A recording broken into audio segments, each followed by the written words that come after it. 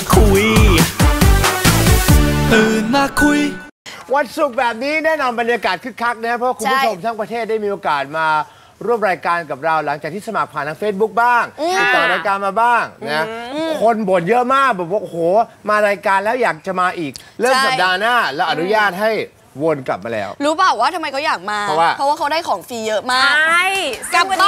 าน ชอบมากยักษ์คู่ใครรู้จักยักษ์คู่บ้างใครรู้จักยักษ์คู่ เคยกินไหม รู้จักไหม นั่นไง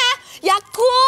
วอลล์ แพดเดิลป๊อปคุณครับเขากลับมาแล้ว แล้วเขามาแจกทุกคนในวันนี้ด้วยค่ะ 80 คนค่ะคุณ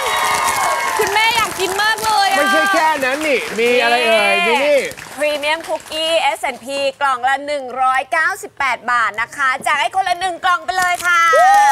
บกิ นมากเลยอะผมบอกแล้วว่าอร่อย ไม่ใช่เคยเจอใครในประเทศไทย ที่กรี๊ดและมีความสุขเมื่อได้กินคุกกี้กับไอติมนอกจากคุณผู้ชม รายการตื่นมาคุยแบบนี้ ให้อะไรก็กรีดหมด เออ เออ ขอให้ได้บอกว่าคำว่าแจก แจกปุ๊บกรีดตลอด อืม ตื่นมาคุย ตื่นมาคุย